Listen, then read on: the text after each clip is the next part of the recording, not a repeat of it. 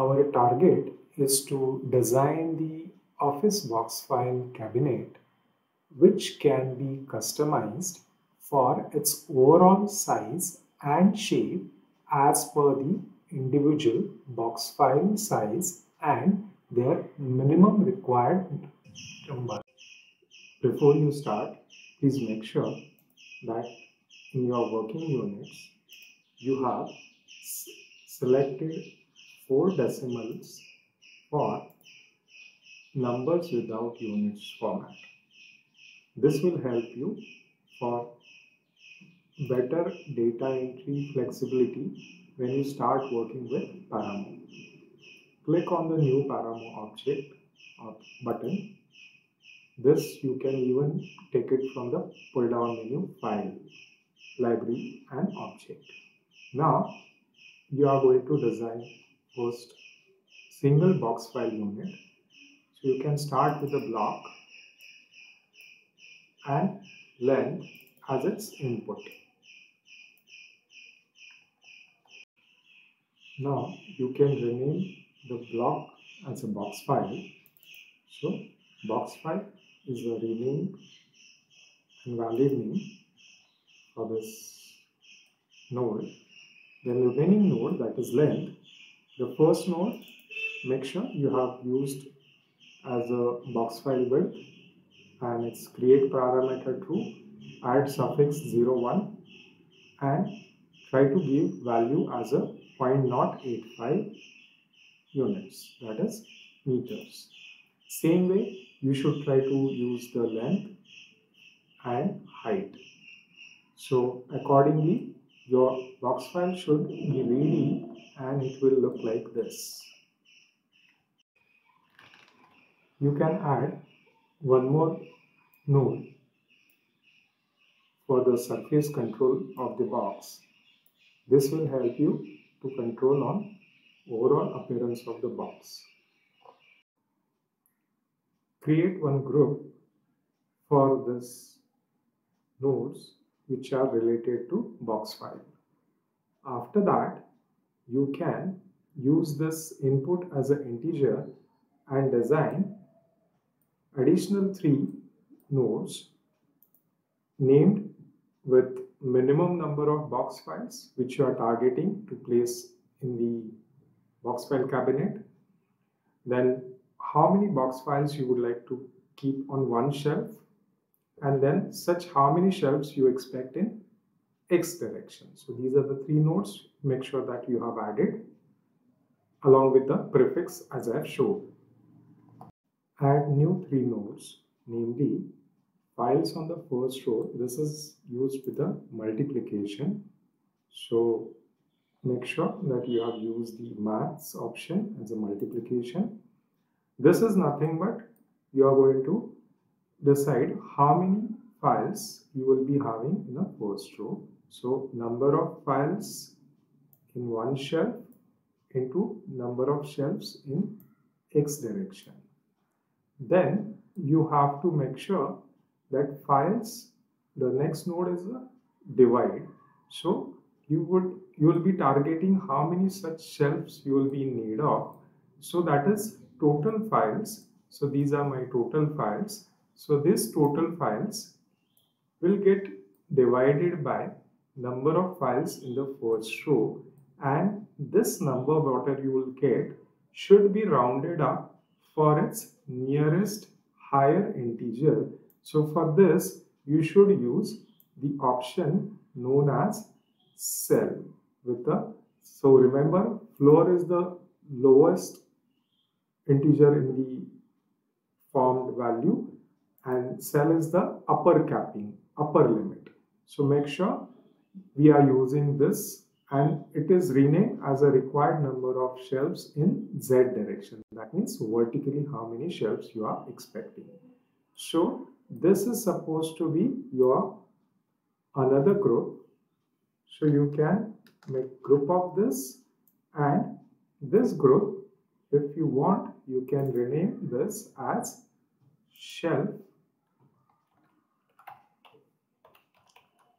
shelves and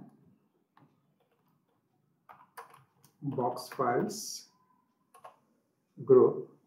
Color, if you want, you can change. Now you can add two more nodes, the len type for the node category and it's renamed as a cabinet ply thickness which is 20 millimeter and there is one more node of the same length type as a category so make sure you have used the length option from the inputs to design this. And cabinet skirting height its height is by default I have taken 75 millimeter. And then the intention is to move this entire group with certain height towards the z, x and y also so that we can place them inside our proposed cabinet on the correct location. So use the addition as your maths option and you are going to move the first file for the x offset and for that I'll be using ply thickness as a 20 millimeter plus the first that is the gap between the box file that is 5 millimeter so these two things will get added and this will be my x offset right this value you can add to the transformation for the box file. So you can see now this entire group is moved with that much of distance. Now you can move this on the y-axis also. So that gap is the same one as per the ply thickness. So what is the ply thickness? I would like to maintain the same gap from the front. So this is what I'm going to join directly to offset pi. So you can see how it is now shifted. And now it's time to elevate this entire unit towards the Z. So I'm going to use this as a Z offset. So you can see altogether this entire unit of your box files is now shifted and placed on the right location.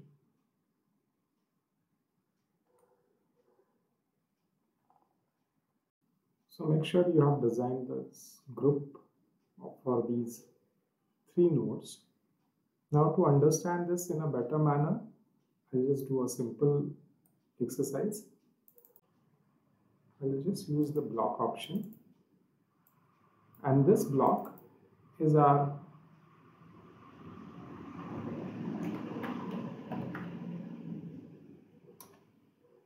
shell cut out. And this we can we are using this for a temporary basis. I'll use just as a glass blue for a transparency as its material.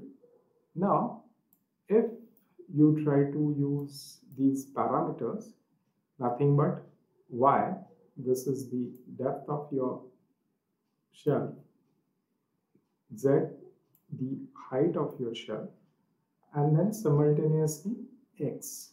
That is nothing but your this side. But now remember in this if you check out now the box which you have designed that is cut out if I want to place it according to the requirement then this has to be transformed. So I'm going to use move and in this move if I join over here, the first parameter which I am knowing that elevating towards the z is nothing but as per my height for the skirting. So if you just check out, we have already mentioned cabinet skirting. So this value I'll be putting for my z. Now you can see how it is elevated. And same we have to move this towards the x also. So if I want to move this towards the x that is nothing but as per the ply thickness. So this value I'll be putting to x. So x offset and then z offset. Now remember in this case if you face but any problem for example the problem is nothing but on my end side I'm flushing the file and the cabinet and that is my shelf uh, cutout which I'm trying to that is getting flushed. So there's no gap. I want to maintain the gap for that also. That means altogether the size towards the x should be get added with the file gap. So I'm going to use addition and this addition is nothing but for the a as my shelf length for the x. And same way the gap which I'll be maintaining between the box files. So this is supposed to be my b. So this a and b will get actually utilized for my x and now you can see that this is how your gap between the end file and the shell cutout was maintained. So this is supposed to be your cutout which you probably going to use in future to create the puncture in the cabinet. So make sure you have done this much of work. Once you have reached to this level where you have designed this cutout for the shelf along with the number of files. Now it's time to repeat this particular group on the x-axis and then towards the z-axis also. So is nothing but these are the additional nodes which you will be in need of. Uh, say for example now in this there's a first node is supposed to be adding the distance between two shelves in x direction. So in this distance between two shelves in x direction, it's a very simple thing. You will be definitely adding this shelf length with a file gap. So this is nothing but your total shelf length. This is your one of the value to be get added and the thickness for your this cabinet ply. So uh, remember this particular value is the another field. So once you add this, so that becomes your actual distance that you would like to follow between two shelves. Then after this, there's supposed to be the uh, next option was a number serial. In this number serial, this particular distance which you have created becomes your step. That is increment distance. And once you got this distance between two shelves in x direction now the number of shelves which you want to repeat is nothing but the value which is you have decided for the x direction into count. So you can check out over here. This is supposed to be number of shelves in x direction. And that was connected to my count. Now it's time that there is supposed to be uh, one option known as a that is this particular node which is nothing but you would like to uh, see move the shape. And that is nothing but total shelf in x direction. So uh, that is the value which now this particular shape is your file shape. So this is single shelf file unit you will be connecting over here. So you will see that this is how once it is connected make sure the value for this should visibility should be true so that you will get the end product. So now i have got the three units for set of files. After getting this successful result for the box files repeated on the x direction same way you can make sure that you have added another node which is again related to move uh, shape. So remember this move shape we have used and uh, this time this is getting utilized to repeat this shape with the everything is same only thing the shape is nothing but your shelf cutout so this shelf cutout i'm going to join over here remember again this has to be visible as a true. Only then you will get this end product. Now you will see there is repetition of this first uh, your box uh, file group and the shelf cutout group. That's nothing but because of the visibility is on for the files on single shell. So if you double click and if you try to see false, so visibility false, so that will get uh, cleared. And same way this shelf cutout also, you have to make it now as a false for the visibility. So now you will see that this is the end product. So be careful that don't unnecessarily repeat the objects. So the, the end product should be always uh, visible for as a true, but uh, earlier steps you can avoid them by using the false logic.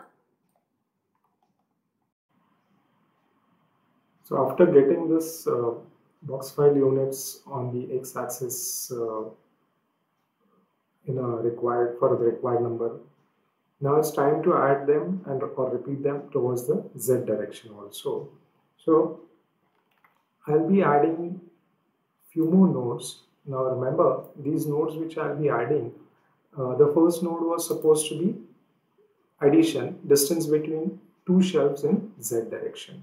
So this is nothing but you know it very well that there's supposed to be a shelf height as a calculated value for the z. So that will be get considered for one uh, for one value. And the other is nothing but the plywood thickness because this entire height plus the ply thickness. So this plywood thickness I'll be considering over here. So just we'll be adding this plywood thickness. And once the plywood thickness is added now after completing this required distance between two shelves in z direction.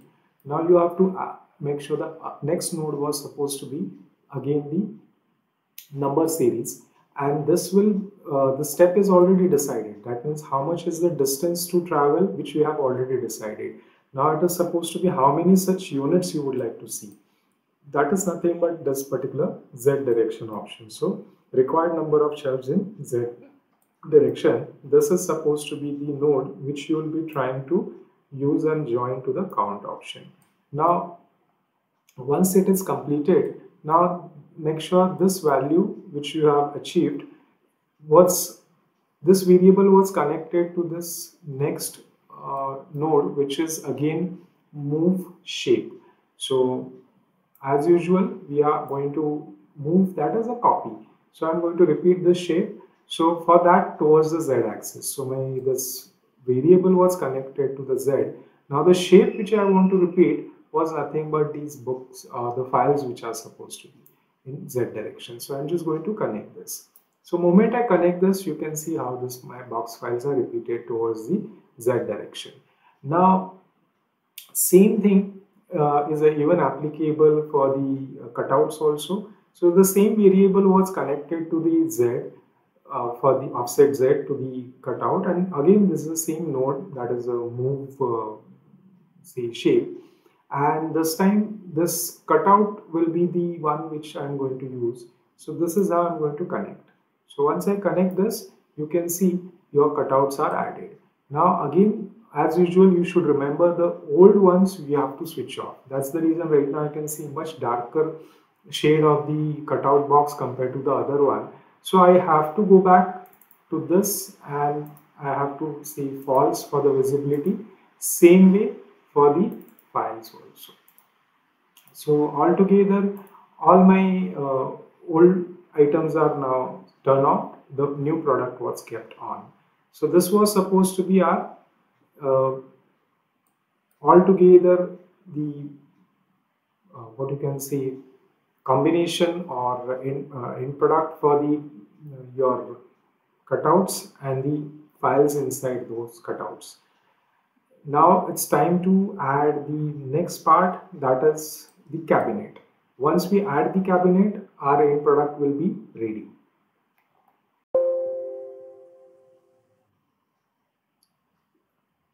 Now after completing this required distance between two shelves in z direction now you have to uh, make sure the uh, next node was supposed to be again the number series and this will uh, the step is already decided. That means how much is the distance to travel which we have already decided.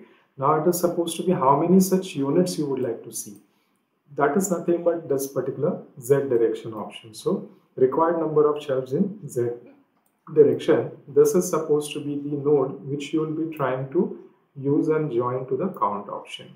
Now once it is completed now make sure this value which you have achieved was this variable was connected to this next uh, node which is again move shape.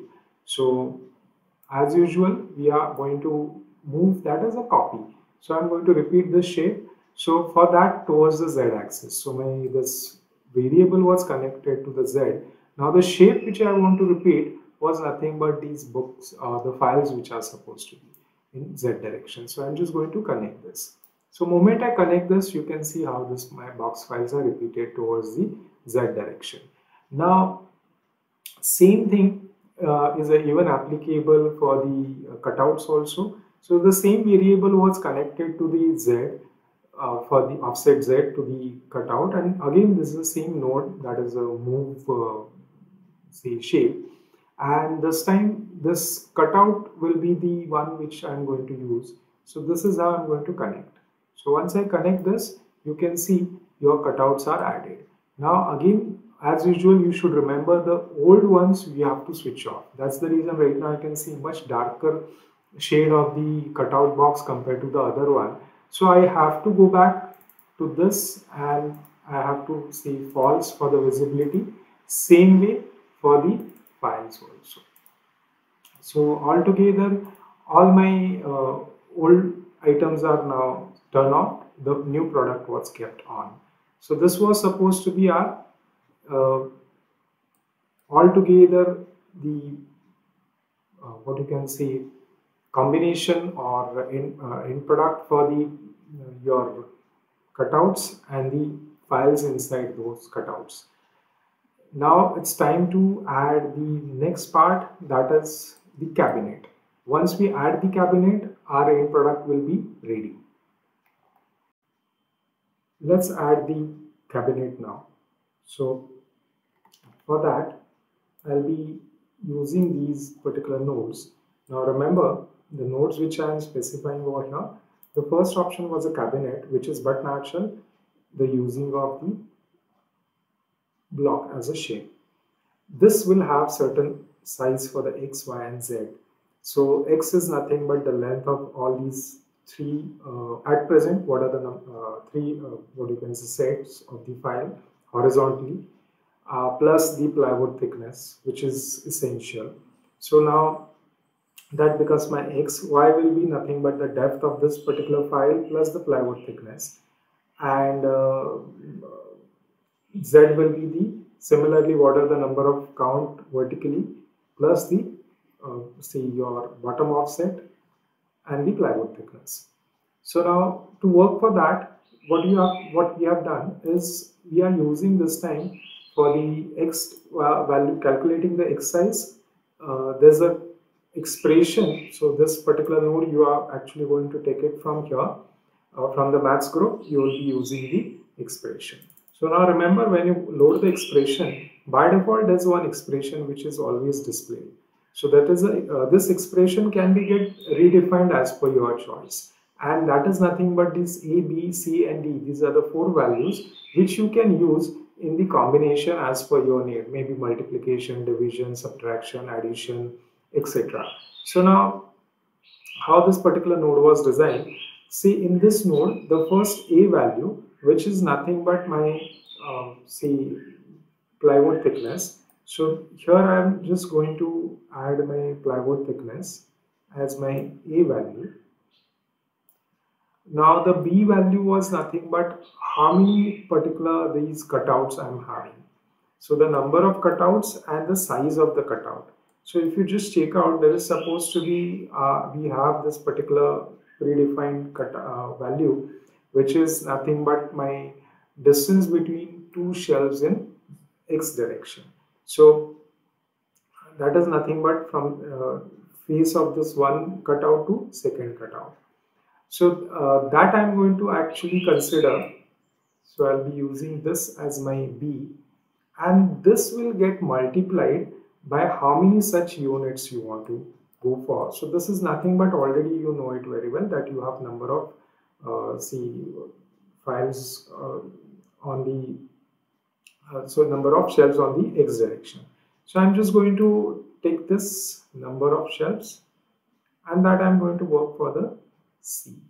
Now remember, now A, B and C, if you just check out the combination over here, A value will get added into the multiplication of B and C. The D is at present 0, so it will not, it won't be considered. Now, why this is not getting displayed, there are two options. First of all, you should make sure that the visibility should be true. And the second thing that all the values should be, at least minimum two values should be positive. Otherwise, this will not function. Now, cabinet depth Y direction is nothing but uh, same way the way you have now here, we have already in the shelf group, we have done the shelf depth Y. So this Y value I'll be considering as one of the factor to be get added. So this particular, now you can check out how it started working immediately on this uh, in your preview. So this cabinet depth is the addition, okay, between two. And this will get added along with the, uh, similarly this, my plywood thickness. So this ply thickness I'll add. Now you can check out this 20 millimeter extra is the uh, projection which I will be getting at the back side. Right? Now it's time to extrude this towards the z direction. So to extrude this towards the z direction, again the expression was used and with the almost similar logic which you have to go for. Only thing this time you are going to talk about the z value that is distance between two shells in the z direction. So this becomes your B unit. Now if you want you can just make sure that you can create a group for this and even you can try to place it on the required location.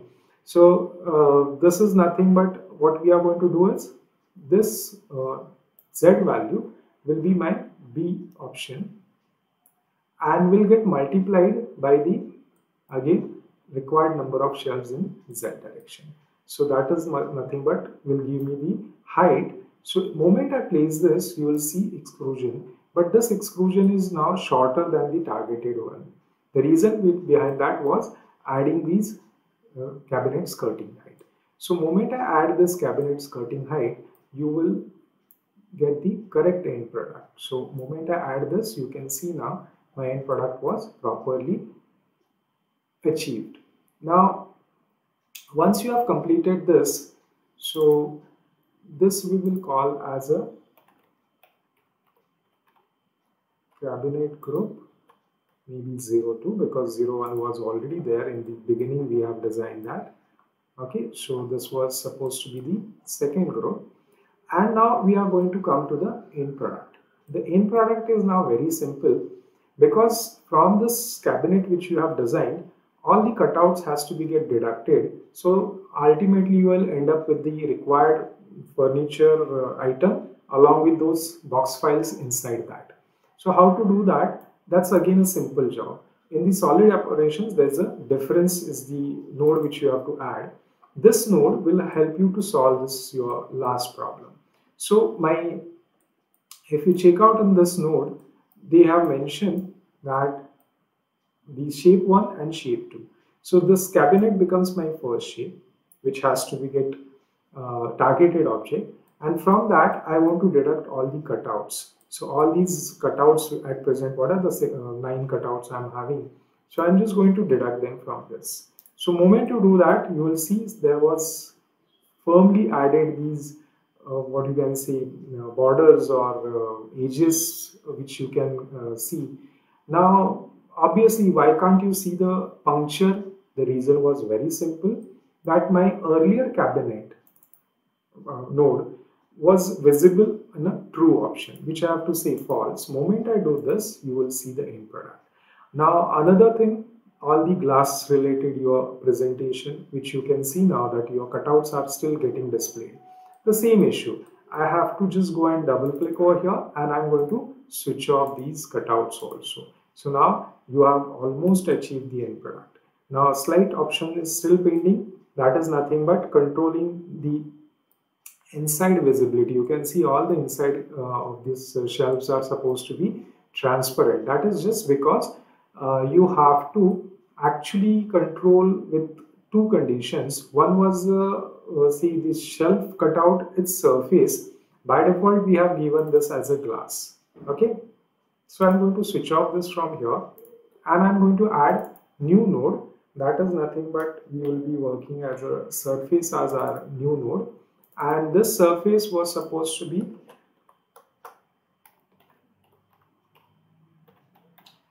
shelves. So this same value will keep as a true. So in future, user can change it very fluently as per his need. So I'll place this as a glossy white and I'll say okay. This I'll place it inside or you can keep it anywhere right now as per your choice. And then you just have to connect it. Moment you connect it, you can see the change. Simultaneously, you can uh, add this into the group which is supposed to be uh, uh, this particular newly added node, we are going to group that inside the shelf group. So just hunt for the name and then you can add. So it is now created properly. And uh, in a similar manner, even you are going to actually control on this cabinet. So this is supposed to be a cabinet with box files.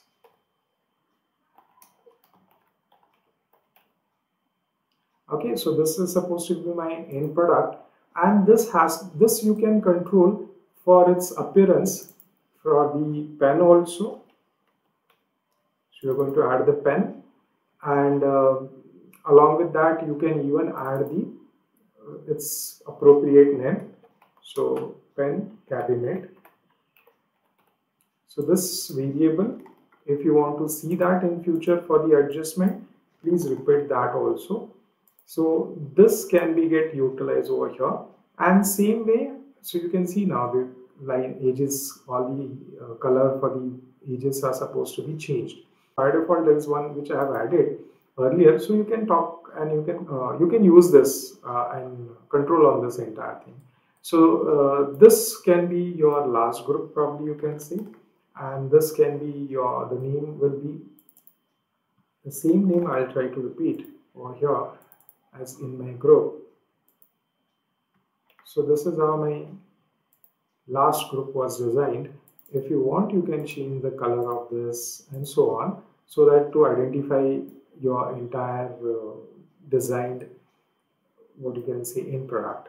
So now it's a very simple thing. If you just check out in future if you start changing the number of files for example if i add the files uh, unless until my targeted files are not completed moment i complete the targeted file you can see uh, this are minimum file where are 33 and if you count they are supposed to be more than 33 at present. Because uh, each uh, particular unit will have four files and such horizontal three units and vertical three. So you can see that there are supposed to be uh, say 12 files in a one row and such uh, three rows. So 36 files and if if you cross the 36 uh, you will realize then he will immediately add the entire next new uh, row the reason was very simple that minimum 37 files you were expecting to be get uh, what you can say arranged but then in the combination of four files per unit you will be uh, you can't have odd shape cabinet. It will be always a rectangle by default in this program. Now, if you reduce the number of these, uh, what you can see, shelves on the X direction, or if you increase the number of files, you can see how it is altogether working. So it is very quickly you can start working and just checking out how many files I can go for and uh, how many uh, how my unit can be get arranged very quickly by just changing and playing with this number. So I hope you have enjoyed this particular program, especially uh, this entire program. I'll keep it for your reference on my mm, see uh, to download also from my Google uh, Drive. So please try and let me know about your experience.